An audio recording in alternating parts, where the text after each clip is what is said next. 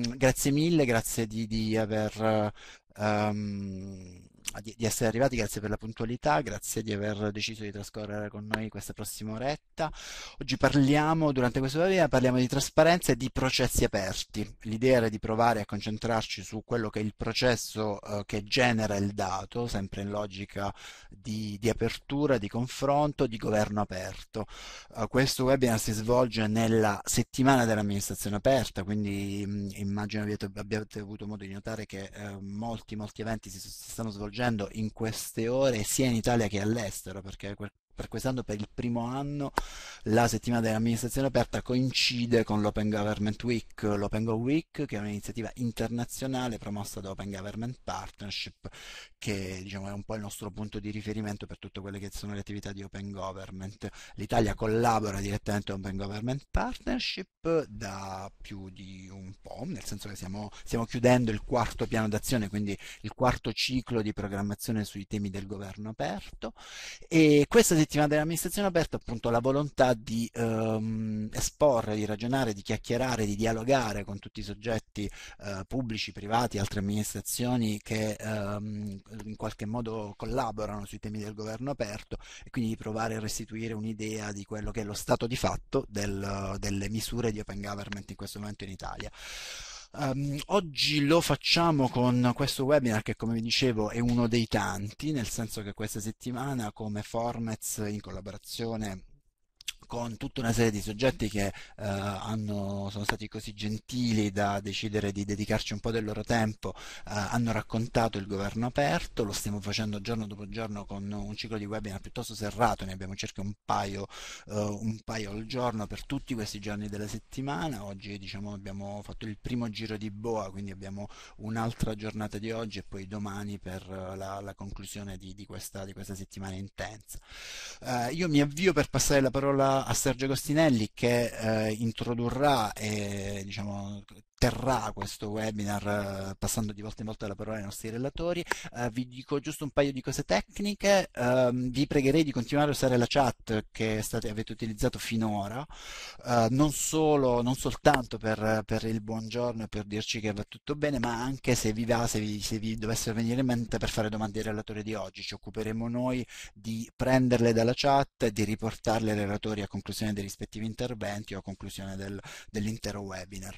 Come da tradizione in perfetta logica di governo aperto e di open access, la registrazione integrale di questo webinar sarà disponibile dalla stessa pagina di Eventipia da cui vi siete iscritti, quindi eh, lo, lo troverete di qui a qualche ora mi auguro. Uh, sulla stessa pagina troverete le slide che um, i nostri relatori di oggi avranno modo di mostrare durante i loro interventi. E il programma, come dicevo, è piuttosto fit abbiamo, l'abbiamo immaginato insieme a Sergio sostanzialmente in due blocchi, cioè da un lato uh, l'emergenza coronavirus, la risposta nazionale e il secondo blocco sui sistemi aperti per il monitoraggio dei programmi, i piani e gli interventi degli appalti pubblici. Quindi ancora una volta l'idea è di provare a restituire un, uh, un'analisi dello stato di fatto rispetto a due... Um,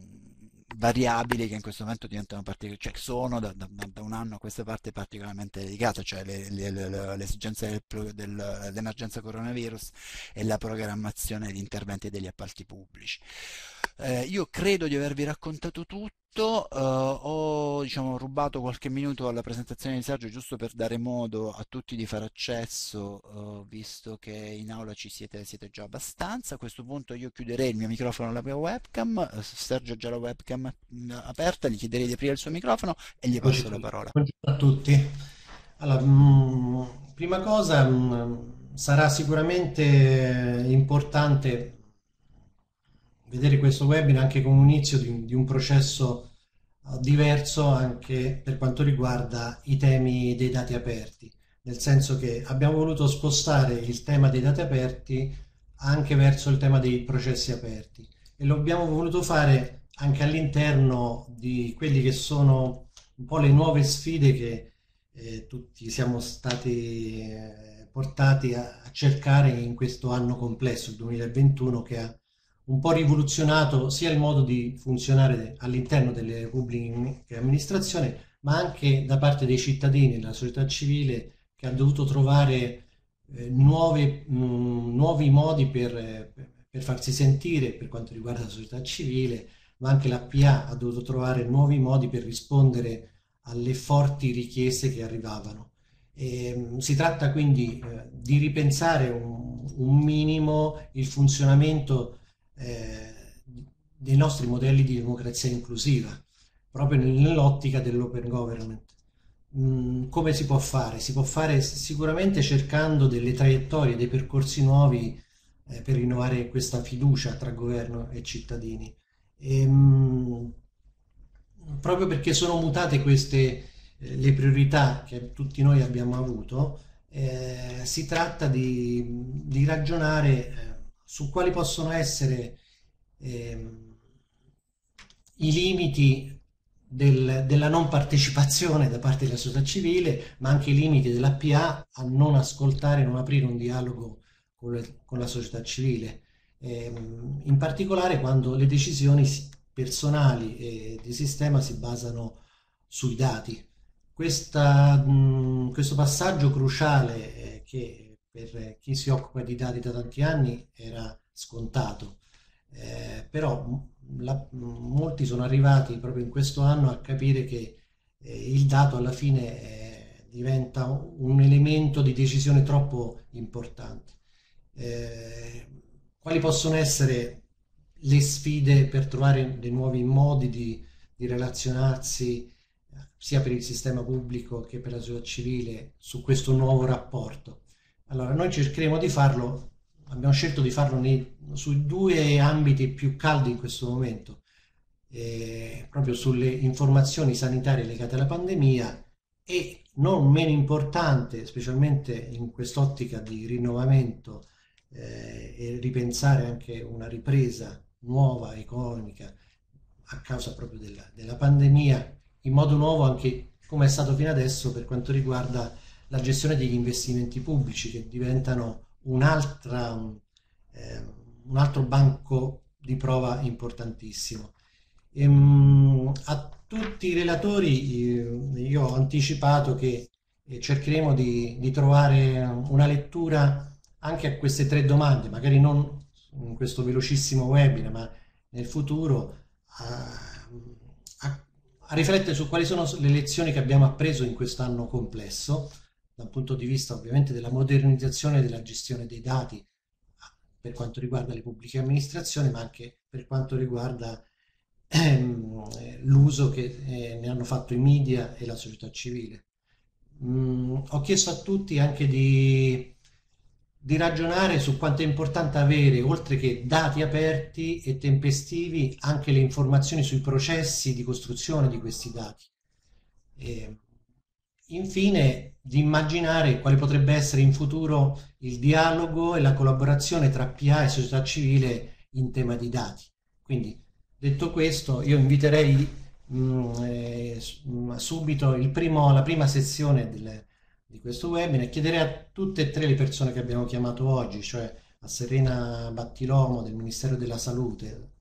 e ad Antonio Bella e Umberto Rosini di aprire le proprie webcam e, mentre magari eh, Gianfranco anticipa le slide eh, di Antonino, che dovrebbe essere la prima persona che parla, però inviterei un po' eh, tutti e tre i relatori insomma, a intervenire anche sulle, sulle presentazioni del collega. Avete dieci minuti a testa, diciamo che questa sessione dovrebbe durare una mezz'oretta, noi raccogliamo le domande e alla fine le, le porremo. Quindi do immediatamente la parola ad Antonino eh, che ringrazio tantissimo per questa disponibilità, sapendo quanto è complesso trovare eh, un'ora della propria giornata, ma, ma, poi anche costruire le proprie slide, cioè tutto questo, eh, questa tra virgolette liturgia dei webinar non è una cosa semplicissima come può sembrare. Grazie, la parola a Antonino. Io Gra- tolgo per, perfetto, grazie, buongiorno a tutti. Eh, sono Antonino Bella, sono un epidemiologo statistico dell'Istituto Superiore di Sanità e eh, mi occupo, eh, sono uno dei eh, responsabili della sorveglianza integrata ehm, Covid-19 che è stata appositamente messa a punto per l'emergenza sanitaria. E io oggi vi parlerò un po' della storia del processo eh, di raccolta dei dati e della fruibilità di, dei dati eh, sia ai eh, politici, quindi ai decisori, ma anche la fruibilità del dato eh, al cittadino e quali sono stati gli strumenti che l'Istituto Superiore di Sanità ha messo in atto per, eh, per questo scopo.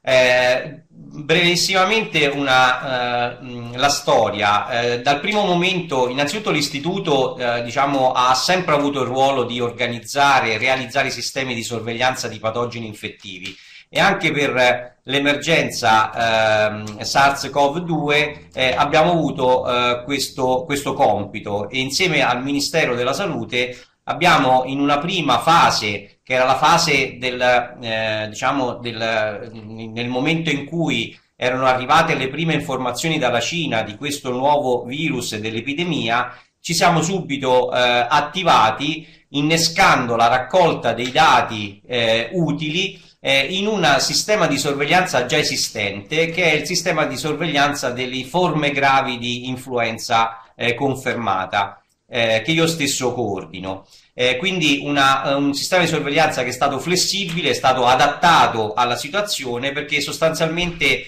eh, raccoglieva dati su soggetti eh, che, and- transitavano in terapia intensiva con eh, problemi respiratori, eh, con forme gravi respiratorie, a cui veniva effettuato un tampone e questo tampone normalmente si va a vedere se c'è un, un virus influenzale, in questo caso avevamo anche la conferma per il SARS-CoV-2. Eh, quindi questo, mh, questo sistema che cosa ci ha permesso? Ah, ci ha permesso già nella fase eh, di fine gennaio, quando ancora era agli albori dell'emergenza, di andare a eh, monitorare tutti i casi provenienti che avevano una storia di viaggio proveniente dalla Cina. Questo sistema, come vedete, eh, ehm, a tutti i quadratini blu corrispondono a, un, a ciascuna persona, eh, risultata poi negativa al test eh, di laboratorio. Il sistema ci ha permesso di evidenziare i primi due cinesi eh, presenti in Italia, i primi due casi importati e poi il terzo caso, quei quadratini che potete vedere in colore arancione. E ci ha permesso anche il 20 eh, gennaio, febbraio del 2020 di eh, rilevare di, ehm, di, la presenza del primo caso autoctono in Italia il 20 febbraio con data di inizio sintomi eh, il 10 febbraio, il quadratino rosso. A questo punto il sistema di sorveglianza messo in atto non era più idoneo perché avevamo bisogno di informazioni più dettagliate e quindi il 27 febbraio lo, ehm, il Consiglio dei Ministri emana l'ordinanza numero 640 che ha eh, istituito il sistema di sorveglianza integrato Covid-19 dando il coordinamento all'Istituto Superiore di Sanità. Eh, che cosa raccoglie il, questo sistema di sorveglianza? Raccoglie tutti i casi positivi eh, con conferma di laboratorio eh, molecolare eh, in prima analisi e poi anche con test rapido eh, di, del virus SARS-CoV-2 in uno di, della rete dei tanti laboratori di regionali appositamente individuati tale, eh, per tale scopo. È stata creata una piattaforma ad hoc per raccogliere i, i dati. Da subito eh, i sistemi di monitoraggio eh, eh, esistenti sono stati messi, ehm, eh, sono stati due. Il sistema che avevo appena eh, eh, descritto, che è quello dell'Istituto Superiore di Sanità, è quello di dati aggregati creato dal Ministero della Salute barra Protezione Civile, che poi il collega ehm, Umberto Rosini vi approfondirà. Perché sono stati messi questi due sistemi paralleli che danno, partono dagli stessi dati? Perché ovviamente, come già immaginiamo, eh, il dato giornaliero dell'aggregato eh, è un dato molto più tempestivo, eh, anche se a volte può eh, mancare di eh, dettaglio e di qualità. Il, il sistema invece creato dall'Istituto Superiore di Sanità eh, ehm, ehm, diciamo, prevede la segnalazione dei casi individuali. Per ogni persona noi chiediamo una serie di informazioni e quindi è meno tempestivo perché ha bisogno di una raccolta di dati, eh, ma ha un dettaglio maggiore e quindi su questi casi noi abbiamo potuto fornire una serie di elementi eh, dettagliati su quanto è il tempo di incubazione, quanto, qual è l'età media, chi si ammala di più, chi si ricovera di più, qual è l'età in cui eh, avviene maggiormente il decesso. E poi c'è un check sulla qualità dei dati inseriti. Eh, il, il, il, sistema di sorveglianza molto così eh, grossolanamente raccoglie eh, eh dati anagrafici, eh, il setting dove è possibile che si sia eh, infettato il soggetto, una serie di informazioni di laboratorio, eh, la data del prelievo, la data di diagnosi, le varianti che sono stati di recente eh, inserite nel sistema di sorveglianza, perché i sistemi di sorveglianza per definizione devono essere flessibili, al, al bisogno devono essere integrati di ulteriori informazioni necessarie. Le caratteristiche professionali, il ricovero, lo stato clinico del soggetto, i fattori di rischio e l'esito, finale, quindi la guarigione o, ahimè, il decesso. Data, in una prima fase il, il, la piattaforma veniva alimentata manualmente dalle regioni, in una seconda fase c'è stata una eh, importazione massiva dei dati a livello regionale. Quindi qui abbiamo capito per la prima volta che in Italia esistevano 21 sistemi informativi regionali che sono stati adattati al fine di eh, eh rendere omogeneo eh, l'integrazione con il sistema eh, creato dall'istituto. Eh, il flusso è molto complicato, eh, partendo dall'alto noi abbiamo casi provenienti dagli ospedali e casi eh, domiciliati, quindi le persone che hanno una sintomatologia più lieve. Eh, tutte le informazioni, quindi sia del medico di famiglia, sia dei laboratori regionali eh, eh, di riferimento che fanno la tipizzazione del, del tampone devono colloquiare con l'attività, con l'autorità locale, quindi la ASL, e poi questi dati devono essere integrati e ehm, inviati alla eh, autorità centrale regionale che provvede a monitorare la qualità, la completezza e a inviarle quotidianamente all'Istituto Superiore di Sanità. Quindi un flusso molto complesso eh, che eh, diciamo in una prima fase è stata una criticità, ma che poi eh, man mano che eh, andavamo avanti nel tempo eh, sono ehm, sempre sistemi che sono andati sempre migliorando. Ovviamente non vi dico la, eh, il lavoro che c'è dietro per, che l'istituto fa settimanalmente per ehm, eh, migliorare la qualità del dato eh, acquisito e quindi eh, il confronto con i dati aggregati del Ministero della Salute barra Protezione Civile, la completezza delle informazioni più importanti che noi raccogliamo e quindi anche la congruità tra le eh, informazioni raccolte. Eh, quali sono gli strumenti che, l'Istituto Superiorità ha messo in atto eh, per diffondere questi dati? Sono molteplici. Abbiamo iniziato con una infografica giornaliera e con dei eh, rapporti settimanali molto dettagliati, con un appendice che andava a fare un approfondimento regionale e all'interno della regione provinciale. Eh, successivamente siamo passati a una dashboard eh, che, eh, interattiva che l'utente può eh, ehm, eh, interrogare e fare un focus su alcuni aspetti a, a, cui eh, maggiormente interessato. Una dashboard che ha una visione complessiva dall'inizio, dal primo caso al caso odierno e una dashboard che dà invece un focus sugli ultimi 30 giorni.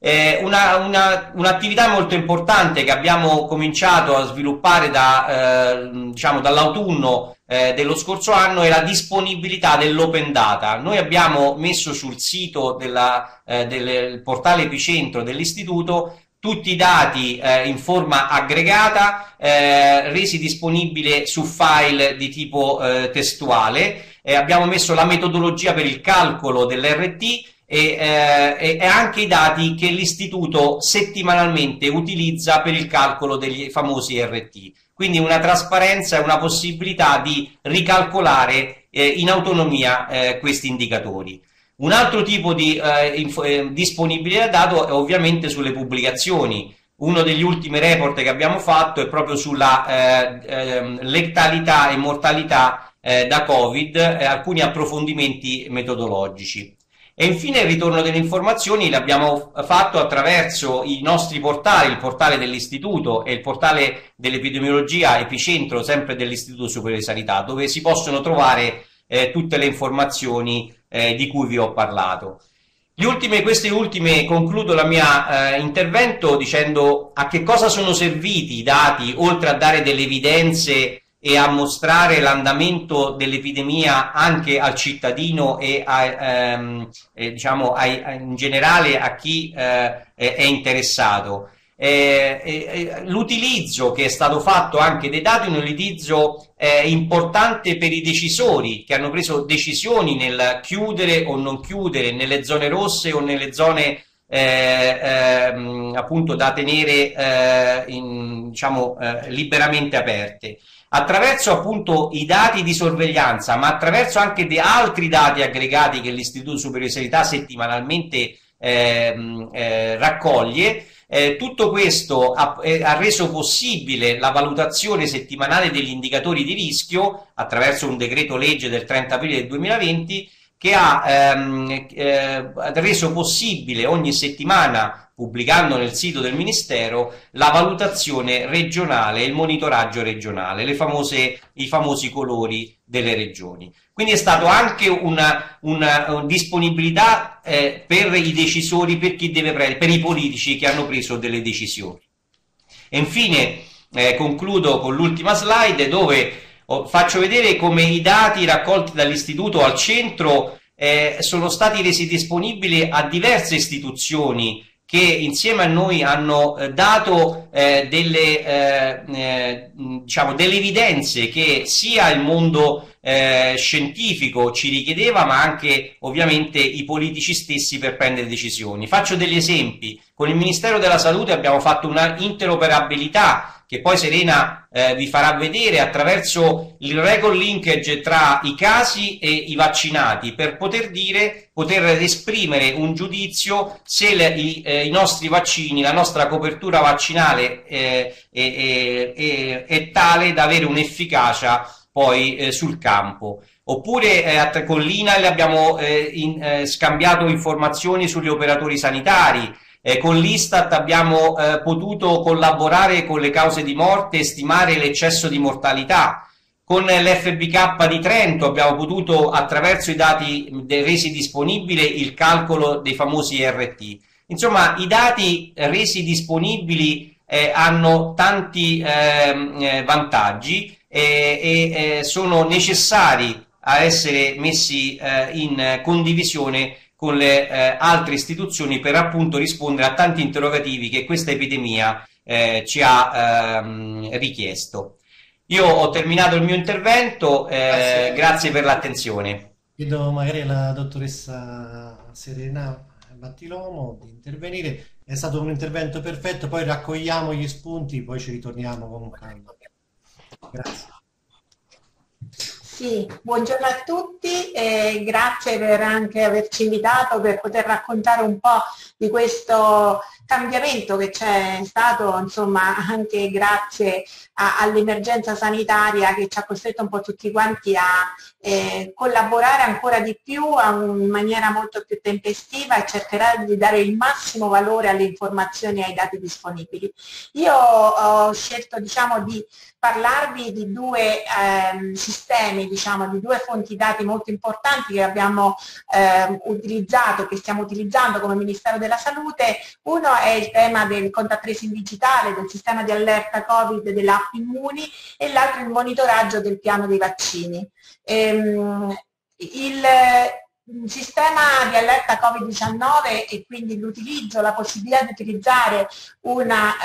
eh, di contact tracing digitale in supporto al contact tracing tradizionale che eh, durante la fase soprattutto di eh, prima, prima, grande contagio, insomma successiva veramente al primo lockdown perché la app è stata rilasciata il primo giugno del 2020 è stato disciplinato appunto dal decreto legge del 30 aprile 2020. Eh, il, ehm, il sistema di allerta Covid eh, ha da un lato l'app Immuni che è il front-end per il cittadino e, e che eh, ad oggi è stata scaricata da 10 milioni, più di 10 milioni di persone e poi dal lato c'è un front-end operatore del sistema tessera sanitaria per poter caricare le chiavi eh, tech dei, dei, dei, delle persone positive. E dietro ancora c'è un back-end gestito dalla società Sogei che consente al Ministero della Salute e alle regioni di avere dei dati di analytics che in questo caso essendo l'app Immuni un'app eh, diciamo anonima, non identificata diciamo, a livello individuale, eh, sono dati che vengono rilevati su base provinciale. E, ehm, come funziona l'app Immuni? Spero e mi auguro che tutti l'abbiate installata e non l'abbiate disinstallata perché purtroppo ultimamente quello che stiamo registrando è che eh, molti dicono ma l'app Immuni non serve più, invece in questo momento che si riattiva l'apertura la, diciamo, e di nuovo aumentano i contatti eh, acquis acquisirebbe maggiore valore. Noi provvederemo adesso anche grazie al Green Pass, al certificato verde Covid-19, l'app sarà uno degli strumenti a disposizione per scaricarlo e avere il certificato verde, quindi ci auguriamo di poter fare anche una campagna di rinforzo per l'utilizzo dell'app. L'app funziona appunto per il contact tracing digitale, scambia delle chiavi tra i telefoni in prossimità in maniera assolutamente anonima e, e chi è positivo poi può caricare nel back-end attraverso o un operatore sanitario o un call center o oggi anche attraverso l'autosblocco con eh, la stessa app che devo dire è una funzione molto utilizzata eh, diciamo da quando abbiamo fatto l'autosblocco le persone preferiscono fare le cose da soli senza farsi aiutare dagli operatori e, e diciamo, caricando queste chiavi nel back-end consente di allertare, per questo sistema di allerta, le persone che sono comunque state a contatto stretto con la persona positiva in modo che possano in qualche modo isolarsi e, e mettersi in attenzione eh, per verificare se sono state contagiate, però a loro volta isolandosi evitare di contagiare altre persone. Ehm, l'app ha avuto delle evoluzioni questo, dal 1 giugno 2020 che è partita così al 1 giugno, gennaio 2021 1 in cui appunto c'è questa funzione nuova, segnala possibilità che era l'autosblocco eh, per poter da soli, poter nel momento in cui uno ha un tampone positivo eh, trasmettere al backend le proprie chiavi, fino al primo giugno 2021, ci auguriamo che sarà questa la data di disponibilità delle, ora c'è scritto Digital Green Certificate perché il nome europeo ancora non è stato definito, comunque sarebbe la certificazione verde Covid-19, certificazione che si avrà per vaccinazione, tampone negativo, guarigione e che consentirà quindi l'accesso eh, in sicurezza eh, diciamo in alcuni luoghi, soprattutto quelli più affollati. Il, I numeri di Immuni sono pubblicati quotidianamente, tutti i dati di Analytics sono resi accessibili in questo sito di governo immuni.italia.gov.it alimentato appunto dal back-end del Ministero della Salute e dei, degli Immuni e, e riporta i download, i positivi e le notifiche inviate, ehm, i dispositivi utilizzati e anche altri, eh, diciamo, da, l'app è interoperabile a livello con le altre app di contact tracing europeo dal eh, ottobre 2020 e quindi con tutti questi altri paesi devo dire che questo è stato un grande lavoro che abbiamo fatto anche a livello europeo per facilitare insomma, la mobilità anche nei momenti più difficili di, ehm, eh, di diffusione del virus. I, i dati di, di, di Immuni eh, e dei pubblicati sul sito sono anche pubblicati su GitHub, quindi sono scaricabili e abbiamo avuto evidenza come Ministero della Salute che sono stati anche abbastanza utilizzati da diversi ricercatori, anche università, eccetera, per fare delle analisi, per capire anche come si andava, perché il contact tracing digitale è uno strumento anche di capire come si sta muovendo la diffusione del virus, ovviamente circoscritto a chi ha l'app Immuni, eh, però c'è stato un momento in questo, di, di che l'app era veramente molto attiva, per cui il, oggi abbiamo il 19% della popolazione che l'ha scaricata e abbiamo superato diciamo, in, in, alcuni mesi più del 15% di popolazione attiva, che la teneva attiva e il contact tracing ha cominciato a funzionare bene come dimostra uno studio dell'Università di Oxford che dopo diciamo, basta il 15% della popolazione perché il contact tracing digitale comincia a raccogliere i propri effetti. Ora siamo un po' scesi sì, l'app è stata disinstallata, ci auguriamo veramente che si possa ripromuoverla perché è uno strumento eh, molto importante di sanità pubblica che si può affiancare agli altri che, stiamo mettendo, che abbiamo messo in campo.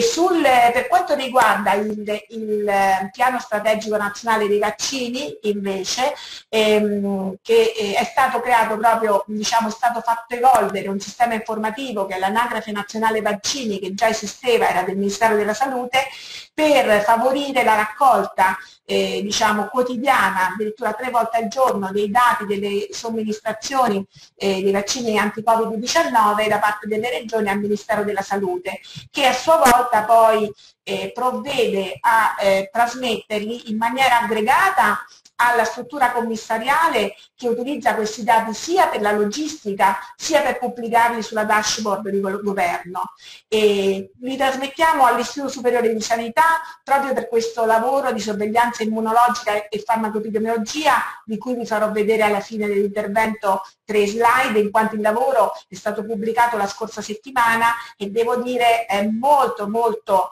eh, confortante eh, da un punto di vista proprio di, diciamo, come cittadina lo dico, perché dimostra l'efficacia delle vaccinazioni, l'abbattimento del rischio di eh, contrarre la malattia, ma soprattutto l'abbattimento quasi a zero degli eventi avversi più fatali. Ehm, e, e, e, lo trasmettiamo anche al sistema tessera sanitaria che consente e assicura la circolarità e l'univocità dell'appropriatezza delle vaccinazioni, mobilità anche per coloro che si vaccinano in una regione fuori di quella di residenza oppure che fanno la prima dose in una regione e la seconda dose in un'altra. Quindi come sistema nazionale TS consente, conoscendo esattamente eh, la collocazione sia di residenza che di assistenza delle persone, consente eh, questa eh, possibilità di, eh, di una mobilità vaccinale. Che è successo? Sono tornata qua. Ecco, questa è la dashboard, ieri sera ho scaricato le, i dati, questi dati sono consultatissimi, infatti la, ieri mattina abbiamo avuto un ritardo nel trasferimento al,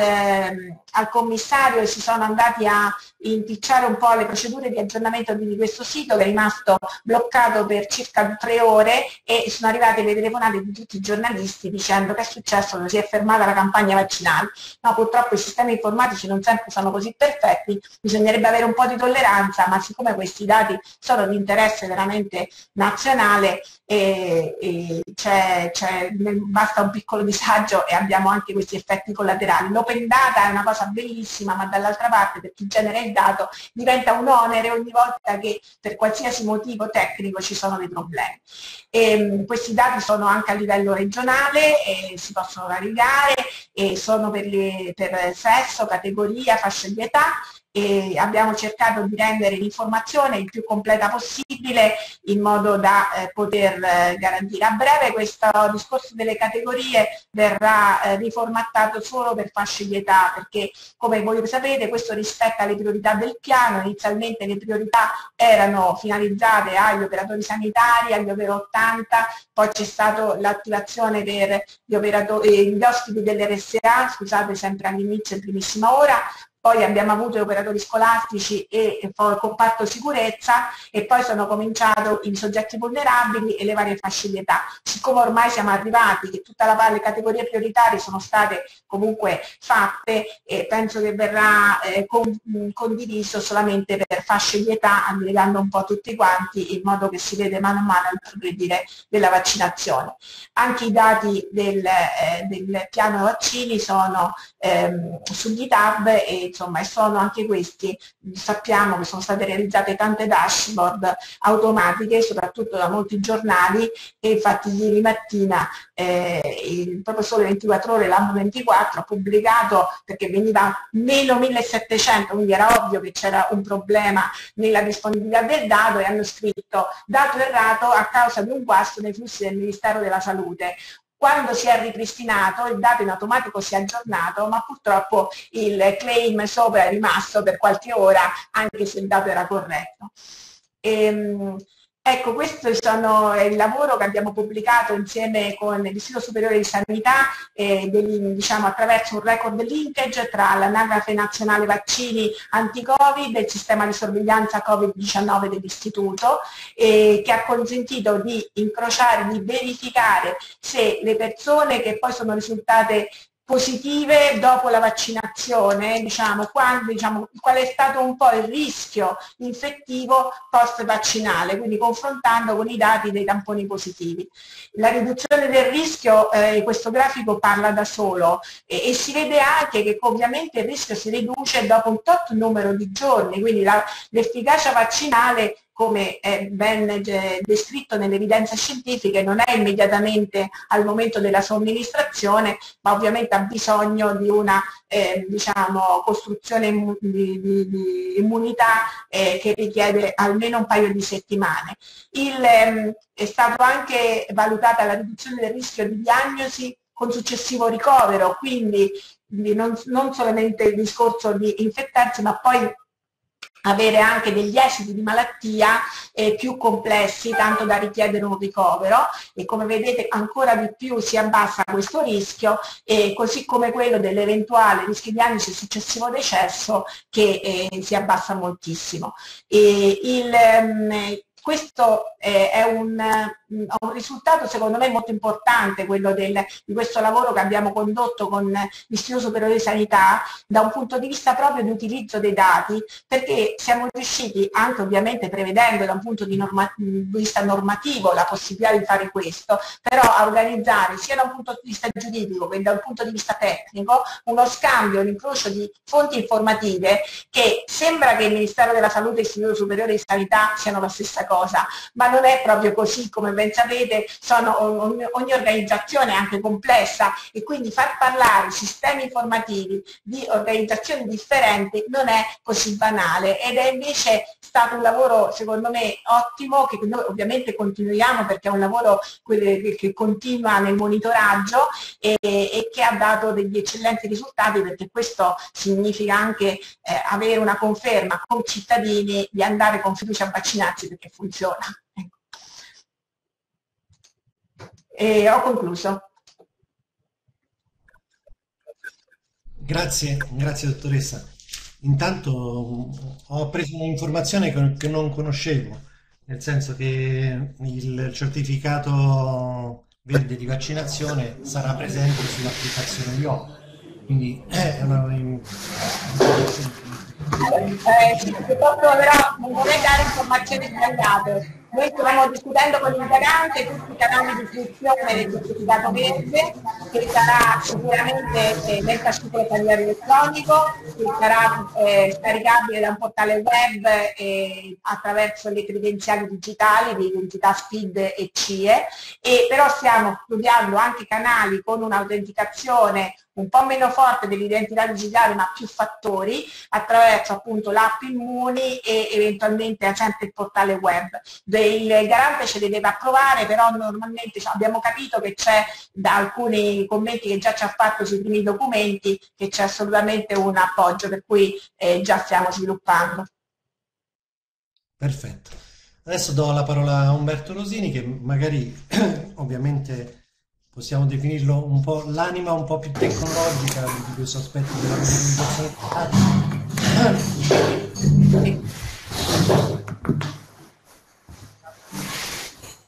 È stato a tutti noi ripensare anche l'uso dei dati in emergenza. Ovviamente come protezione civile conoscono questo tema, no? Eh, su processi a termine, come possono essere altre situazioni,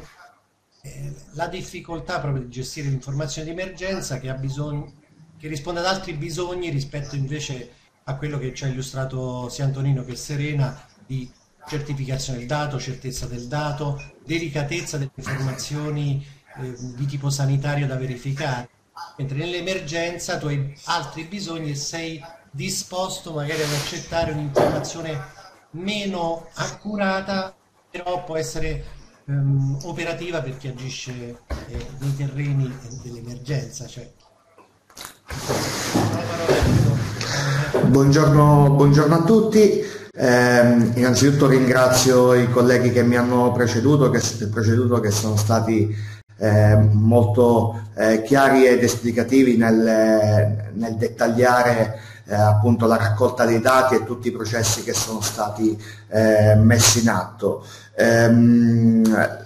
cos'è innanzitutto il Dipartimento della Protezione Civile? È eh, un'organizzazione che si occupa di salvaguardare la vita e la salute umana, i beni e il patrimonio nazionale, gli insediamenti umani, gli animali e l'ambiente dalle catastrofi o naturali o provocate dall'uomo. Quindi si occupa di previsione, prevenzione, emergenza e superamento dell'emergenza. Al fianco del Dipartimento della Protezione Civile, che è un dipartimento della Presidenza del Consiglio dei Ministri, eh, c'è il Servizio Nazionale della Protezione Civile, che è un sistema integrato composto da strutture pubbliche e privati, sia centrali che locali, che operano assieme appunto per ehm, operare in, in, vari temi e, e in varie situazioni. Ehm, come è cominciata? Perché il Dipartimento della Protezione Civile ha iniziato a derogare i dati, prima in un formato PDF, poi eh, in, in, open data attraverso dashboard. Eh, tutto, eh, tutto, è nato per affiancare il Ministero della Salute nel processo di comunicazione appunto dei dati dell'emergenza. Il capo dipartimento è stato ad un certo punto ingaggiato eh, dal eh, Presidente del Consiglio dei Ministri nel tenere una conferenza stampa inizialmente due volte al giorno, poi eh, giornaliera alle 6, che era diventato un po' eh, un momento cardine dove la popolazione veniva avvisata. E proprio eh, questo ha sancito la necessità di avere dei dati ehm, pronti da mostrare e da eh, rilasciare alla, alla popolazione ehm, ogni giorno in una determinata, in una determinata ora. Eh, in questo c'è stata una, una, grande collaborazione tra il Ministero della Salute e l'Istituto Superiore di Sanità. Eh, siamo partiti, e questo non, eh, non, non, lo negheremo mai, siamo partiti da quelli che erano degli Excel, quindi inizialmente eh, abbiamo utilizzato gli strumenti che avevamo a disposizione, dopodiché eh, l'Istituto Superiore di Sanità, per il tramite del, del Ministero della Salute, ha eh, reso disponibile un sistema in, informativo per, ehm, per, poter appunto inserire i dati necessari alla comunicazione eh, quotidiana. Quindi come funziona il, il processo? Le regioni appunto compilano eh, i dati su un applicativo messo a disposizione appunto dall'Istituto Superiore di Sanità che come ha detto giustamente Antonino già eh, opera eh, in questo senso, quindi non ha dovuto costruire un qualcosa di nuovo ma ehm, diciamo eh, adattare, modificare dei sistemi esistenti anche per la gestione di dati aggregati. Ehm, questi dati entro le 16.30 circa vengono eh, ehm, comunicati, quindi presi in carico dal Ministero della Salute, eh, che eh, li verifica ehm, e eh, eh, una volta verificati li invia al, eh, a noi, al Dipartimento della Protezione Civile. Sull'applicativo ci sono dei warning, non ci sono delle, ehm, delle, dei controlli bloccanti, proprio perché non possiamo fermare la comunicazione del dato, ma possiamo soltanto loro evidenziare eventuali anomalie che provengono da un'analisi dello, dello storico o comunque da ehm, evidenti errori di battitura. Eh, il Ministero della Salute, quindi mh, eh, ovviamente utilizzando lo strumento messo a disposizione dall'Istituto Superiore di Sanità, invia ehm, un, eh, i dati al Dipartimento della Protezione Civile che a quel punto ehm, effettua un ulteriore controllo e qualità dei dati e nel caso evidenzia delle problematiche le subito sottomette al Ministero della Salute eh, altrimenti eh, procede al, alla trasformazione, alla pubblicazione su GitHub e sulla dashboard. Ehm, dico ehm, eh,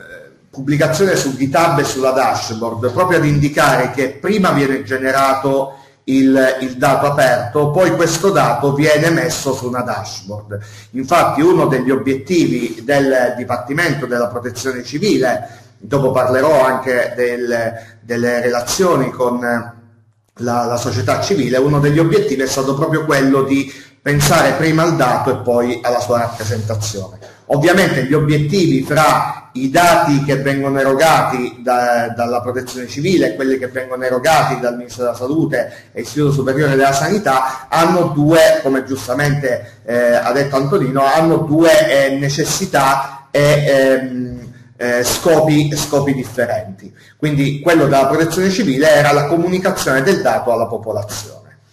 Che cosa abbiamo utilizzato? L'Istituto Superiore di Sanità ha sviluppato una web application noi per la, la, trasformazione del dato abbiamo utilizzato degli script sviluppati in linguaggio Python utilizzando un modulo che si chiama Pandas che serve proprio per la gestione di, di dati e, e, anche big data, utilizzato delle pipeline GitHub, quindi un'automazione del flusso di eh, elaborazione del dato e poi eh, per la dashboard abbiamo utilizzato lo stesso eh, strumento che eh, inizialmente la John Hopkins aveva utilizzato anche per il rilascio dei dati a livello mondiale, quindi la dashboard eh, ArcGIS. Eh, quindi eh, che cosa eh, praticamente quindi eh, torno, torno, a dire quali sono i controlli sono ovviamente dei warning eh, ovviamente sui dati quelli di cui ha parlato Antonino c'è un controllo eh, molto più approfondito della qualità del dato a questo viene aggiunto un'analisi dati eh, manuale da parte del Ministero della Salute, dopodiché eh, una volta che i dati passano in protezione civile viene effettuata un'ulteriore analisi applicativa, ma soprattutto e tengo a rimarchiare che teniamo molto in considerazione anche le issue eh, aperte dalla community, cioè tutte quelle evidenze che, che vengono inserite dal, dalla società civile all'interno dello strumento che noi utilizziamo per il rilascio dei dati che è appunto eh, GitHub. Ehm, vado avanti. Ecco, ehm, io mi concentrerò soprattutto sull'importanza del dialogo, eh, quindi il mio è un grazie alla società civile, alle community, a tutte le organizzazioni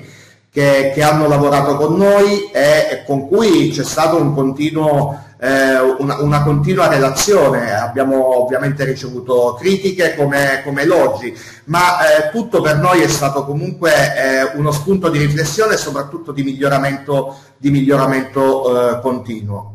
Scusate, andato avanti di miglioramento continuo. Ecco perché eh, non si deve pensare al rilascio del, dei, dei, dati dell'open data come una cosa che una volta fatta a posto eh, congelata così, ma eh, in ottica di eh, miglioramento continuo e soprattutto improvement dei, dei, dei, servizi, quindi miglioramento dei servizi anche a fronte del, del loro uso. Eh, quanto sono importanti i dati nella pubblica amministrazione? Gli open data sono un'immensa risorsa, io utilizzo sempre questa frase di Open Data Handbook eh, che dice appunto che sono un'immensa risorsa ancora in gran parte utilizzata e tengo da parte quella che è la necessità per legge, perché deve essere proprio captata come un'opportunità il rilascio dei dati, quindi tutti i dati, quelli che ovviamente possono essere resi aperti, dovrebbero re- essere resi aperti e disponibili all'uso di chiunque. In questo eh, parlo appunto della licenza, cioè è necessario che questi dati vengano resi utilizzabili da chiunque. La scelta del, del, Dipartimento della Protezione Civile per tutti i dati che verranno rilasciati, quindi non solo quelli per il Covid, ma ultimamente abbiamo,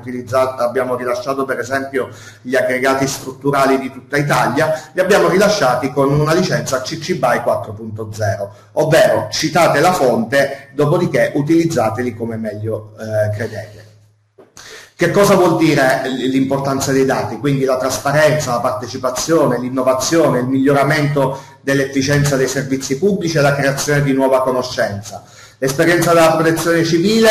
ha, ha portato a definire ehm, appunto la, la, nostra esperienza come una sorta di standard eh, che eh, magari potrà essere eh, riutilizzato come poi è stato, è stato fatto eh, eh, anche da altre amministrazioni italiane. E quindi ehm,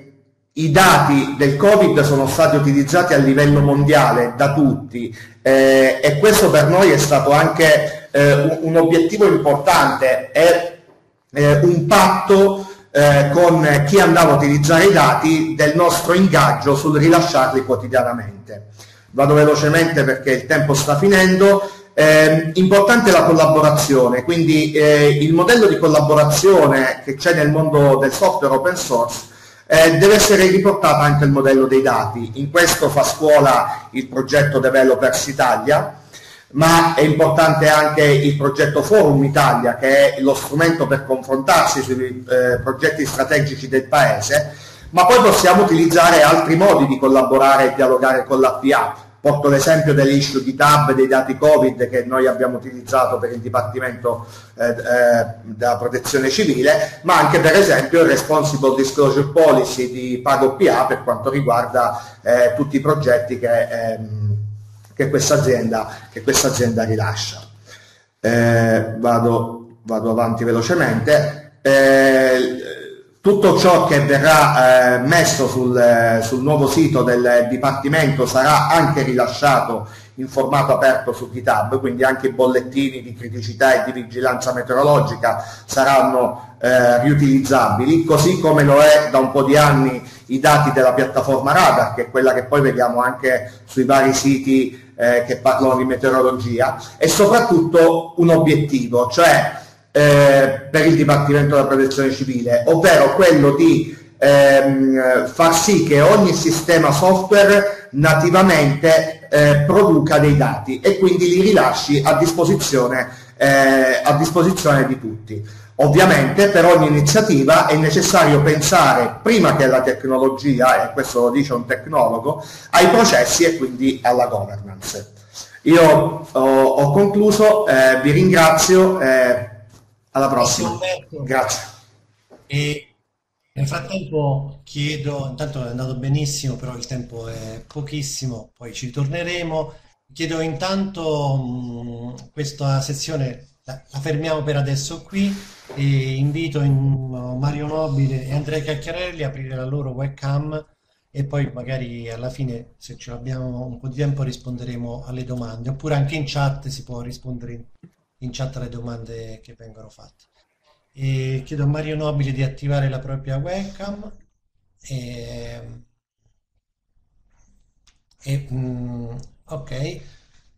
probabilmente sta arrivando anche Mario Nobile salve allora intanto mm, iniziamo subito eh, eh, entriamo subito nel discorso come sono stati strategici i dati sulla pandemia eh, sanitari saranno in futuro eh, sempre più strategici i dati sugli investimenti. Eh, siccome ci sono state mh, molte novità, eh, magari per non addetti ai lavori non sono chiarissime queste novità, ehm, chiedo magari da Andrea di iniziare eh, con la sua relazione per, per eh, farci un quadro su diciamo, il mondo dei dati intorno agli investimenti pubblici, eh, quali sono le caratteristiche principali che hanno avuto anche in quest'anno di mutazione. Grazie Andrea. Grazie, grazie Sergio. Eh, insomma, cerchiamo un po' di cambiare un po' prospettiva. Ovviamente tante cose che ho ascoltato hanno eh, legami no? con l'attività che svolgiamo, quindi cerchiamo adesso di, eh, cercherò in qualche modo in questi minuti che ho a disposizione di fare un ragionamento più che altro di come si è mossa eh, in particolare qui la Presidenza del Consiglio dei Ministri, eh, ma anche un po' la pubblica amministrazione sul tema uh, del monitoraggio degli investimenti pubblici. Eh, sono un po' il testimone di un'attività che è iniziata addirittura 20, 20 anni fa con eh, diciamo un approccio un po' di cambiamento uh, anche eh, rivolto uh, al dato, no? alla digitalizzazione e alla creazione di banche dati che potessero consentire di avere una visione degli investimenti pubblici eh, moderna, eh, possiamo dire, eh, attraverso appunto l'elaborazione di, di, dati che potessero in qualche modo tradursi in informazioni, poi in conoscenza, come sappiamo tutti, in modo tale da poter essere utilizzati anche per prendere le, le decisioni eh, su dove e come investire. Mh, eh, mm, eh, nel 2003 fondamentalmente si, si, si decise in qualche modo di costituire innanzitutto una uh, banca dati, un'anagrafe nazionale dei progetti di investimento pubblico, che era un po' il presupposto per poi parlare ovviamente di, di monitoraggio degli investimenti pubblici, non avendo a quei tempi uh, la possibilità di avere un censimento dei progetti di investimento pubblico, eh, era inutile comunque attuare già direttamente un sistema di monitoraggio che sicuramente avuto, eh, avrebbe avuto eh, difficoltà di attuazione. E quindi diciamo la, la, le norme eh, in ambito CIPE, eh, ovviamente io ho, ho, lavorato già dal, dal 2003 nel, presso appunto strutture che eh, funzionali a, alle attività del CIPE, in, que, in, quei tempi c'era il Ministero dell'Economia, ma poi il CIPE fu trasferito in Presidenza del Consiglio e, e, e attualmente di questa attività se ne occupa il Dipartimento per il coordinamento della politica economica. Eh, e dunque, in sostanza, nel 2003 eh, si decise di realizzare questo, oh, mh, questa banca dati, un bene pubblico nazionale, all'interno del quale appunto sono registrati, venivano registrati i progetti di investimento pubblico att attraverso l'associazione la, uh, di ogni singolo progetto ad un specifico codice, il cosiddetto codice unico di progetto, che insomma tralascio uh, le informazioni di dettaglio su questo argomento perché presumo insomma che siano abbastanza eh, diffuse. Sì, sicura, sicuramente, diciamo che sull'argomento esatto. andiamo... Ok, andiamo allora, e, e, benissimo. Allora, ne, durante gli anni quindi eh,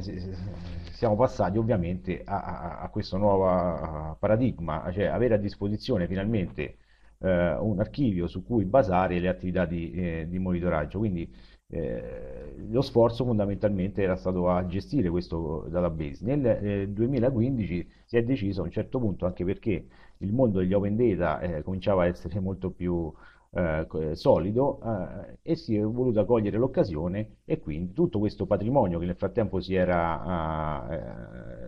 eh, memorizzato sulle banche dati venne messo in, in modalità open attraverso un portale dedicato, tra l'altro eh, finanziato anch'esso con risorse co eh, comunitarie e, e, poi rifinanziato con, eh, attraverso le risorse del PON Governance che poi tra l'altro stanno finanziando anche questa vostra iniziativa e attualmente è patrimonio di tutto il portale di tutti il, a disposizione dei dati sugli investimenti pubblici, sulla programmazione degli investimenti pubblici sul portale OpenCoop. Eh, opencoop.gov.it potete digitarlo tranquillamente andare a visualizzare per chi non l'avesse già fatto eh, che cosa è stato realizzato. Eh, si passa da una fase di eh, navigazione del dato alla disponibilità degli open data veri e propri eh, per l'utilizzo ovviamente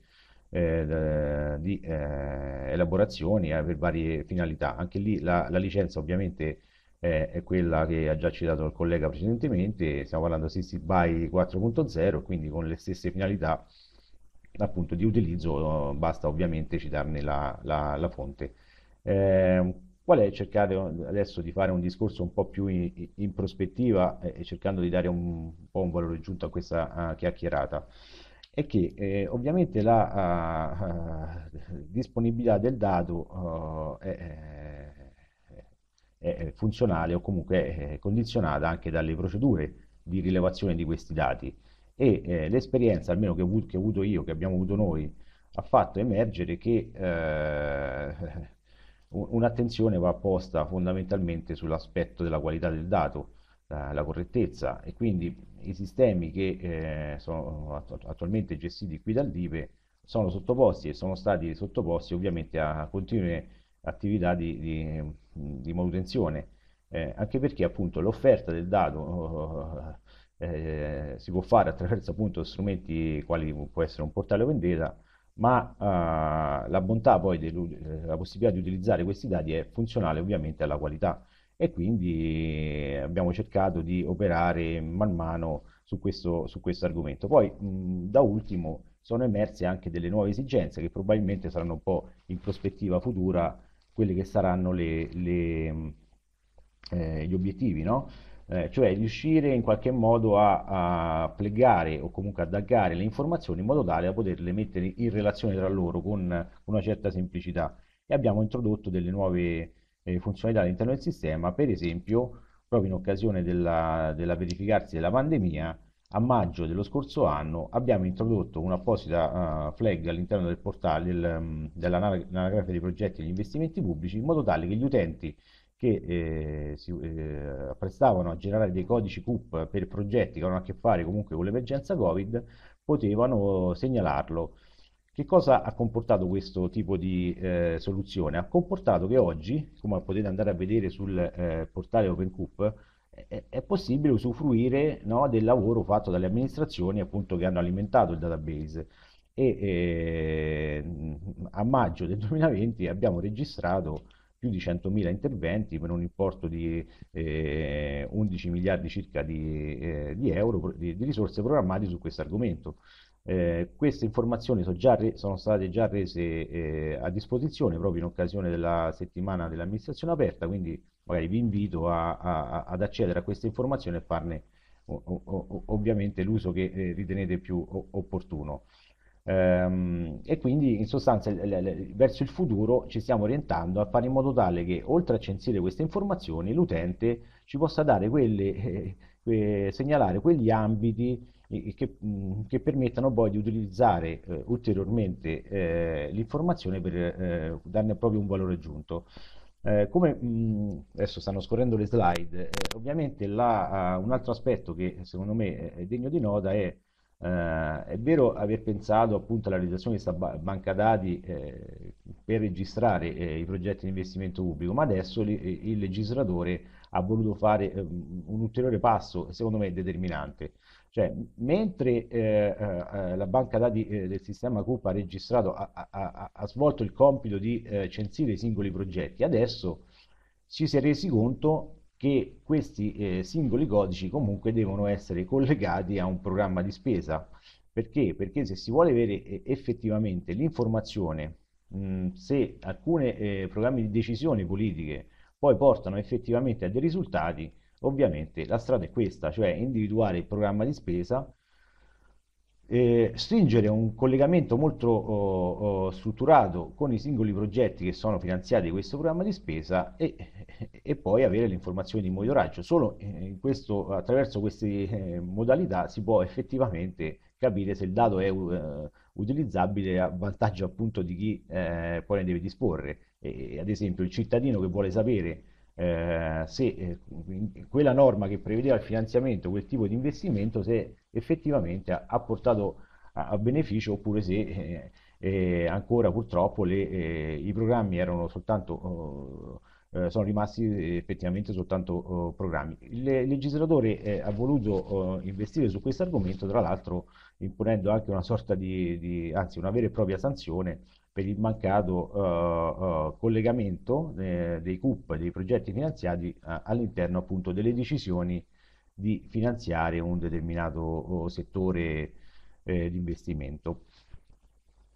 Andiamo un po' avanti. Ok, eh, un altro argomento che probabilmente, eh, anche se il tempo è, è, è molto limitato, che vi invito comunque a, a, a cerco di darvi come eh, informativa che può essere magari di vostro interesse è che eh, il, il, codice CUP permette poi, se utilizzato ovviamente su uh, determinati sistemi, di avere poi alla fine una filiera di informazioni che si muove dal momento in cui il progetto viene programmato, quindi inserito nella banca dati CUP, al momento in cui il progetto sta in fase di attuativa, quindi viene realizzato e poi concluso. Che succede? Che le informazioni che si muovono eh, diciamo, durante eh, questo ciclo di vita del progetto sono registrate da diversi sistemi.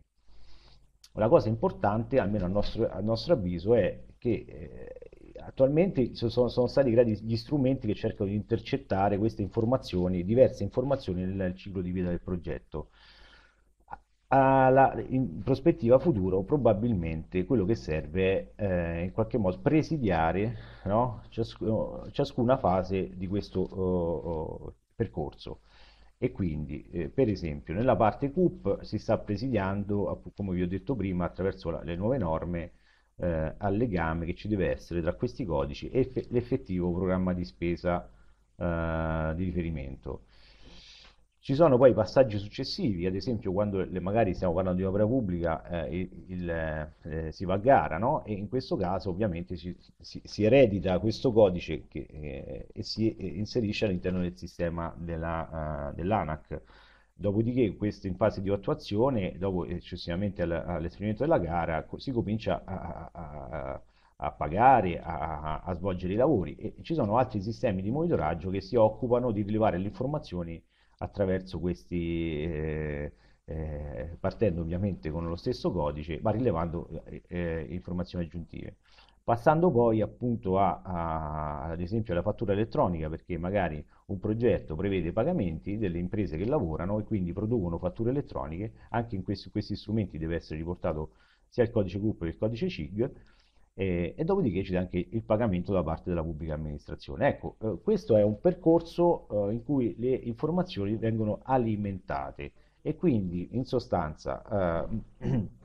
eh, riuscire ad essere molto oh, proattivi e, e, molto attenti sulla dinamica che viene creata attraverso lo scambio eh, di questi sistemi, si potrebbe raggiungere un obiettivo molto caro a tutti, cioè la possibilità che le informazioni si vengano a generare da sole senza che ci sia nessuno che in qualche modo eh, debba alimentare in maniera manuale alcuni sistemi. Il dato da una parte eh, potrebbe essere molto più tempestivo, molto più eh, veritiero, perché effettivamente si prende il dato alla fonte e eh, la riduzione degli errori ovviamente è, è garantita. Un passaggio in più ovviamente è che ciascuno di questi sistemi abbia a disposizione un proprio portale open che permetta anche eh, ai cittadini di avere un'informazione completa e complessiva e veritiera su quello che succede eh, nell'ambito del settore degli investimenti pubblici. Ok, io avrei finito, passo adesso la parola a, a Mario Sì, Nobile. tanto grazie che mm, hai fatto una sintesi di, di- di dieci anni di- di arrivo a questo, diciamo, a, a una reale tentativo di fare rendere interoperabili tutte queste banche dati complesse degli investimenti pubblici. Inoltre è importantissima questa cosa che hai detto che inserendo tra i vari programmi anche il fatto di etichettare con gli investimenti Covid-19, ho messo in chat il link che hai annunciato, uno può ritrovare tutti gli investimenti che corrispondono al programma eh, di Covid-19, quindi a prescindere dal programma, poi ognuno può ricostruirsi questa uh, filiera dei dati che possono interessare la propria politica. Proprio su questo ovviamente chiedo a Mario Nobile che, um, che su questi argomenti, in particolare gli investimenti infrastrutturali delle grandi opere, eh, poiché eh, investimenti prossimi anni saranno una grandissima quota eh, sotto il ministero di cui lui fa parte, eh, credo che siano più di 60 di miliardi eh, futuri del PNRR, solo per parlare del PNR, perché poi ce ne sono tanti altri di piani importanti di investimento. Um, se, se, ci può dare il, il, suo punto di vista, proprio sempre in quest'ottica di immaginare quello che potrebbe essere questo avvicinamento ai compiti dell'APA che deve svolgere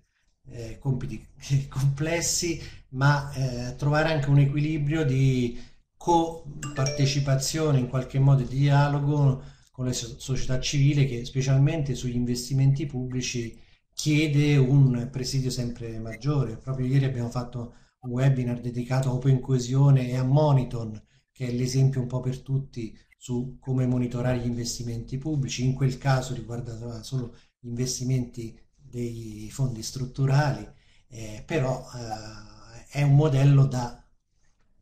da generalizzare un po' ci sono tanti altri progetti che chiedono proprio questo, eh, di poter partecipare in qualche modo per dare un contributo. Ti lascio la parola, eh, Mario.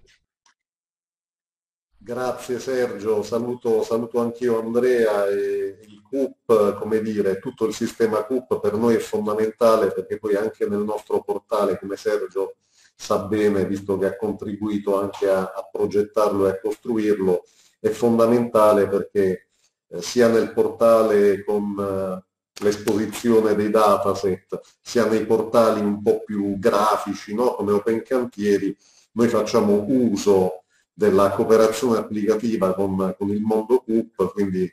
ringrazio Andrea ancora una volta perché evidentemente poi è inutile replicare i, i corredi informativi quando questi sono già raccolti, quindi CUP è, è stata una delle innovazioni no, più importanti perché dare un codice fiscale a un intervento, a un investimento, significa poi, come diceva Andrea prima, avere una filiera integrata di informazioni, poterlo seguire ogni volta. Ehm, sì, noi abbiamo circa 60 miliardi di euro di investimenti che non sono soltanto da, da recovery fund, quindi da, da, risorse europee, ma ci sono anche un fondo complementare, c'è uno scostamento di bilancio, ci sono i fondi di sviluppo e coesione, quindi abbiamo cercato di raggiungere una convergenza sulle fonti di finanziamento e di attivare investimenti utili a farci, come dire, traguardare i prossimi anni con indubbiamente delle, delle logiche keynesiane, delle logiche di investimento pubblico che comunque faranno bene all'economia nazionale, ma anche per cercare di evitare di avere liste diverse su fonti di finanziamento diverse, perché poi alla fine l'investimento pubblico, l'investimento non solo in grandi opere, Sergio, perché lì c'è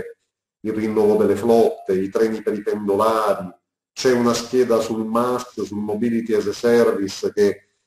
co-gestiamo con il Ministero dell'Innovazione Digitale perché è sulla missione 1. Quindi ci sono tanti interventi di investimento, fatemi dire, materiale e immateriale, ovviamente con proporzioni diverse. Però ecco, io quello non ho preparato delle slide perché da stamattina che sto facendo peraltro riunioni con la ragioneria, con, con altri Anzi, colleghi. Eh, anche lo spirito... Sì, ma un discorso interattivo e tue domande, domande dei partecipanti, perché altrimenti la curva di attenzione si abbassa, Guarda, essendo l'ultimo a parlare. Posso fare già due domande che ci sono arrivate in questi giorni. Ovviamente in attesa eh, che diciamo a livello eh, sappiamo che il PNRR adesso è l'attenzione totale su queste cose, no? E sicuramente eh, è previsto che il MEF faccia un sistema di monitoraggio e che le informazioni siano messe a disposizione anche della società civile proprio per fare quelle cose che siti come Open Coesione o altri siti hanno permesso Open Coop, cioè di fare un minimo di eh, seguire Sergio, scusami,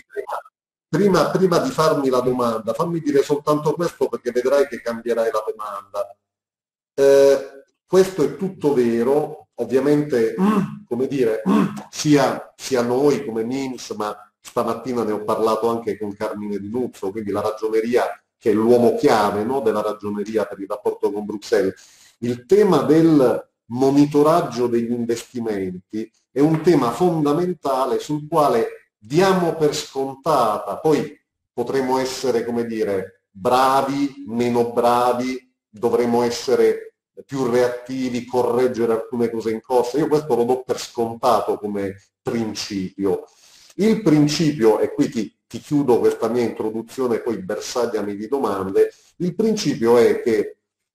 in questo momento eh, la nostra impostazione è quella di cercare la valutazione di impatto tutto. Quindi stiamo dando per scontato che le cose che ha detto Andrea, che sembrano semplici, no? che ha agganciato 3-4 slide, sembra un percorso molto fluido, in realtà dietro c'è una complessità enorme organizzativa, di processi, di interlocutori. Lui ha interlocutori strutturati, faccio due nomi, le stazioni appaltanti più importanti d'Italia, ANAS ed RFI, con, con le quali interopera in maniera semplice perché hanno un IRP, un sistema gestionale che va dalla contabilità alla commessa e quindi lui va a prendersi il dato giusto e corretto fino a interventi che sono gestiti da soggetti poco strutturati, ma non perché siano cattivi, perché magari sono un piccolo comune, d'accordo, che ha 20 dipendenti al quale certamente non puoi chiedere una cooperazione applicativa o uno scambio di API, perché quelli hanno milioni di cose da fare e hanno un progetto CUP che stanno gestendo. Quindi c'è una complessità enorme, ma io diciamo, sto andando già un passo oltre e dico, dando per scontato che potremo essere bravi o meno bravi e offrire diciamo il quadro che Andrea ha tracciato prima, cioè io monitoro l'investimento, apro le informazioni in modo che ci possano essere soggetti indipendenti, la società civile, Monitor, ma anche il singolo cittadino che va lì, si scarica il dataset, se lo elabora e inizia a fare delle sue valutazioni. Questo lo do già per scontato. Il punto è un altro ed è un punto più complicato sul quale stiamo ragionando e tra poco ragioneremo anche con la società civile evidentemente, ed è quello di valutare gli impatti. Non parliamo dell'output. Le slide che ci ha fatto vedere Andrea sono calcolo l'avanzamento fisico, l'avanzamento temporale, cioè in termini di processo valuto fino all'output del processo. Quello che è l'impatto, cioè l'outcome, è per definizione non collegato solo al processo, cioè non è un qualcosa di endogeno, ma è esogeno. Esempio, rinnovo le flotte dei treni pendolari, tema che interessa tutti noi che usiamo il trasporto pubblico e vogliamo prendere il trenino per spostarci nelle aree metropolitane e non solo, quante persone in più utilizzano i treni? Quant'è la quota modale che riduciamo al trasporto privato? L'inquinamento polveri sottili aumenta o diminuisce? Attenzione perché nei primi mesi del Covid noi siamo rimasti molto sorpresi dal fatto che l'inquinamento atmosferico in alcune grandi città, tra cui Roma, per certi parametri è aumentato nonostante certe valutazioni preliminari fossero ovviamente di avviso contrario. Ok? Quindi l'impatto significa che anche se io fossi la persona più, più brava del mondo e decidessi di investire con un approccio data driven, facendo dei, delle simulazioni e dei modelli, quindi dicessi voglio definire questa linea ferroviaria ad alta velocità perché i modelli mi dicono che l'offerta di questa linea provocherà un aumento della domanda su questa linea e io sposterò persone dall'auto privata al treno. Poi gli impatti non sono, come dire, simulazioni modellistiche, sono i fatti reali e purtroppo hanno a che fare anche con la resilienza che dobbiamo avere in questo momento rispetto alla pandemia, domani rispetto a un cambiamento climatico, un innalzamento del livello del mare, cioè a tante cose che possono provocare shock e impatti. D'accordo? Allora, il punto nodale è vero, è come abilitare un sistema di valutazione degli impatti che non soltanto tenga conto, e non lo sto, come dire, riducendo di importanza, del lavoro che ci ha fatto vedere Andrea e che sarà il lavoro che stiamo facendo tutti insieme alla ragioneria per dare per non... tra un po' di mesi diciamo. Diamo per scontato che non è così. In realtà nella valutazione di impatto attenzione perché non essendoci una modellistica chiara e certa dobbiamo capire come allargare e aprire le informazioni per consentire anche alla società civile di fare delle valutazioni di impatto come gli esempi che stavo facendo. Quindi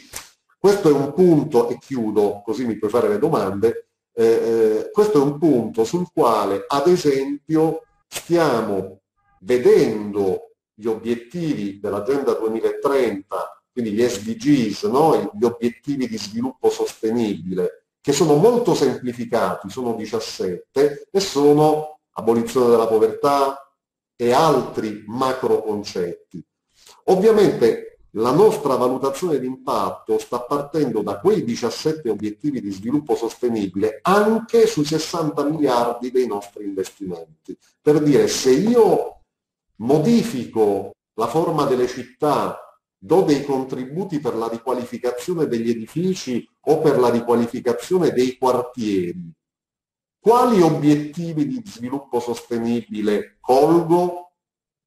Ok, questo è una valutazione ex ante, ma ex post su quella città che succede? I prezzi delle case aumentano o diminuiscono? La fascia grigia, cioè le giovani coppie, magari con un lavoro a tempo determinato, riescono a trovare casa oppure no? Allora, chiudo per dire il nostro sistema informativo di monitoraggio PNRR ha un modulone che è quello di Andrea, che non ripeto, dei modulini che stiamo incastrando, che sono un modulo di valutazione di impatto, un modulo che si collega sempre al cruscotto decisionale del ministro, dei vertici, dei decisori politici, che deve tener conto anche della società civile, degli open data, di quello che può provenire da quel mondo, per correggere. Quindi, e chiudo veramente, nell'esempio di prima della complessità, io devo monitorare anche la conferenza unificata, la delibera del CIPE, il decreto interministeriale MIMS, MEF per abilitare il rinnovo dei treni dei pendolari e non è banale e sappiamo che è lì che abbiamo parecchie complessità che potrebbero non consentirci di rispettare le scadenze temporali. Ma poi, facendo finta che tutto vada per come è stato previsto, quando io ho rinnovato quelle flotte, cosa succede? nel sistema paese? Chiudo, vai con le domande. No, era importante che ti facessi no, no, questa, diciamo questa già, dire. almeno per quanto mi riguarda, almeno hai dato una prospettiva di, di rotta, nel senso che giustamente, come hai detto, sul tema investimenti pubblici è importante come dire, il monitoraggio di atterraggio dei singoli investimenti sui propri territori e questo, diciamo, il discorso di Andrea ce l'ha, illustrato, quindi eh, va benissimo. Il problema è che mh, i livelli eh, sono, c'è a livello di programmazione, c'è a livello di esecuzione, c'è a livello appunto di valutazione dell'impatto. Sono tre momenti dove anche le richieste genericamente dalla società civile, ma diciamo dal territorio, perché poi c'è molta pubblica amministrazione locale che diventa quasi società civile, no? che chiede informazioni su investimenti che vengono fatti magari sul proprio territorio e quindi scopriamo che i primi soggetti società civile magari sono i soggetti pubblici, piccoli comuni, appunto enti locali che vogliono informarsi di queste informazioni. Quindi in realtà ehm, dovremo, dove magari si possono immaginare, essendo dei piani pluriennali, delle forme strutturate per ripensare proprio questo dialogo per diversi livelli con quello che noi chiamiamo società civile, però come sappiamo è fatta di tante cose, e mh, integrando già degli istituti o delle procedure che sono in atto nelle vostre amministrazioni. No? Faccio un esempio per tutte. Ovviamente gli open data sono, sono uno strumento per tutti, però per esempio per quanto riguarda le opere pubbliche c'è l'istituto del dibattito Tito Pubblico, che è un istituto nuovo, e su alcune situazioni eh, una, avrebbe un impatto se sistematico, cioè se a livello sistematico, a livello nazionale, ci fosse un, una visibilità anche di questi, di questi istituti, diciamo, di, di dibattito sulle, sulle opere e non dopo, no? ovviamente, devono avvenire prima, o altre situazioni molto più semplici di di logica di, di maggiori informazioni per quanto riguarda la valutazione appunto di impatto, specialmente quando generano dei servizi. Allora magari si possono immaginare modalità nuove nella valutazione dei servizi generati dagli investimenti rispetto a, alla classica valutazione dei servizi pubblici. Assolutamente così e sai che è stata appena anche nominata da poco una commissione nazionale sul dibattito pubblico con la quale proprio ci stiamo interfacciando perché poi l'effetto NIMBY non, non, nel mio giardino è un effetto pericolosissimo sugli investimenti pubblici per tutto quello che abbiamo detto e quindi assolutamente sì e anzi eh, questo, queste prime interlocuzioni con la Commissione nazionale dibattito pubblico vanno proprio nella direzione di mettere a disposizione tutto il contenuto informativo di un'opera, non un estratto. Anche perché le prime esperienze che sono state fatte, penso a, a, a un'opera autostradale vicino Bologna, gli stessi soggetti attuatori hanno trovato giovamento facendo delle modifiche, delle varianti dopo la fase di dibattito pubblico. Perché attenzione, l'ingegneria alla quale appartiene anche la gestione dei dati, visto che è tutto un mondo unico, non ha una, dire, una, una certezza al 100%, no? Non esiste in ingegneria un concetto di sicurezza o di certezza del 100%. Quindi questo è utile non soltanto per il, la società civile, i comuni, noi, i cittadini, le, le amministrazioni, ma è utile anche per il soggetto attuatore che magari ha progettato e non ha previsto un determinato elemento. Allora, mm, dato che siamo arrivati alle 13.29, eh, strappo un po' uh, in chiusura una promessa anche per, per, tutti noi, magari di ritornare su questi argomenti, sia per, sui dati sanitari che questi investimenti, con un po' più di calma, magari in modo separato, quasi fosse già un tentativo di fare una valutazione dello stato avanzamento di questo rapporto tra appunto gestione dei dati da parte dell'APA e della società civile in questo tentativo di trovare sempre forme più efficaci eh, di collaborazione. Quindi è solo un invito a iniziare magari un percorso eh, anche in ottica eh,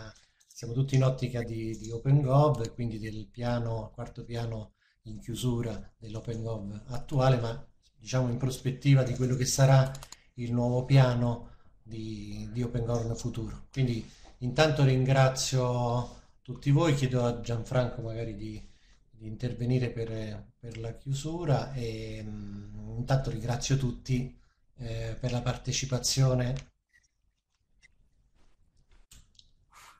No, il mio intervento è davvero solo un istante, giusto perché ho aperto e quindi chiudo anch'io, ma davvero volevo semplicemente rilanciare i ringraziamenti di Sergio e di tutti, volevo ringraziare tutti i relatori di oggi, eh, tutti i partecipanti. Eh, vi ricordo che l'idea, diciamo, rilancio il tema del dibattito pubblico, diceva un attimo Mario, cioè l'idea di questa settimana, perché ci muoviamo nell'ambito della settimana di amministrazione aperta, è proprio questa, cioè di provare a rilanciare una, in questa logica logica il dialogo tra uh, società civile, pubblica amministrazione e qualunque altro soggetto, uh, dare modo a qualunque altro soggetto di diventare categoria vocale, di farlo nell'ambito di un, uh, un riferimento che può essere proprio quello del governo aperto, in maniera tale da, da, migliorare, da essere da stimolo a chi decide, da essere da stimolo a chi implementa, da essere da, da, da essere, insomma, da, dare un minimo di Ehm, restituzione di quelli che sono gli impatti funzionali a una migliore progettazione delle opere pubbliche stesse. E quindi niente, mi permetto di chiudere così. Uh, vi ricordo che ricordo a tutti i partecipanti che a brevissimo, cioè diciamo il primo pomeriggio, dobbiamo riuscire a pubblicare tutte le slide usate dai relatori di oggi e la registrazione integrale dell'intervento. La pagina su cui trovate tutte queste informazioni è sempre um, quella da cui vi siete iscritti di Eventi PA e vi invito a partecipare partecipare agli ultimi, questi ultimi giorni, tra domani e dopodomani, di, di settimana dell'amministrazione aperta e poi colgo il, il, rilancio di Sergio e vedo che c'è anche Salvatore Marras in chat. Sicuramente avremo modo di eh, tornare a parlarne, magari proprio nell'ambito del progetto OpenGov, magari proprio a proposito di OpenGov certamente diciamo, e, e considererei questo webinar come il preludio di un discorso più ampio sul, sul tema dei, del, dei, processi di generazione dei dati e sicuramente di, di, come tutto questo in qualche maniera diventi nel, nel, nella pratica open government. Grazie a tutti, eh, grazie Andrea, grazie Mario, grazie a tutti i relatori, grazie Umberto, grazie Antonino, Serena Battilomo, temo ci abbia già lasciato, comunque ancora una volta grazie a tutti voi, mi avvio alla conclusione della stanza e grazie mille. Grazie a tutti.